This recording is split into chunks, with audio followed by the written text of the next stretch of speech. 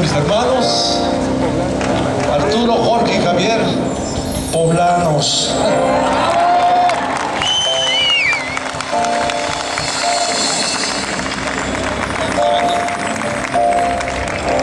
Esos chamacos que andaban correteando por aquí por el portal, repicando las campanas aquí en Catedral, me acuerdo bien que una es la San José y la otra es la María. Grandotas las campanas. Bueno, yo estaba chiquito, a lo mejor. Es nada más el tamaño de distancia.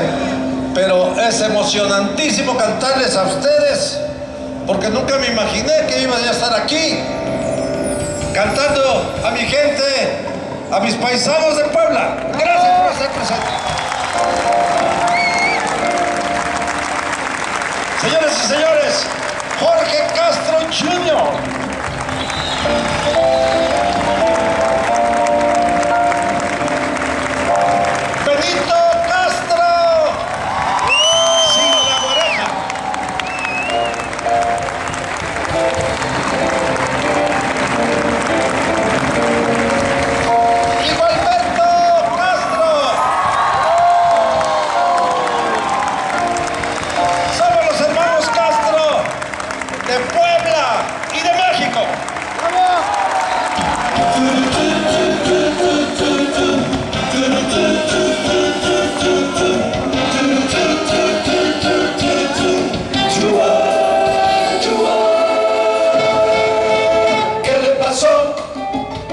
pobre jamaiquino, señores? Decía Mister, la dirúa, la dirúa, ya se rompió, ya se rompió.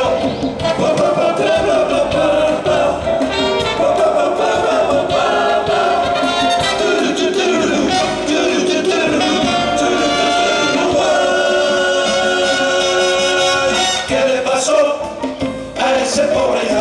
señores, decía Mister, la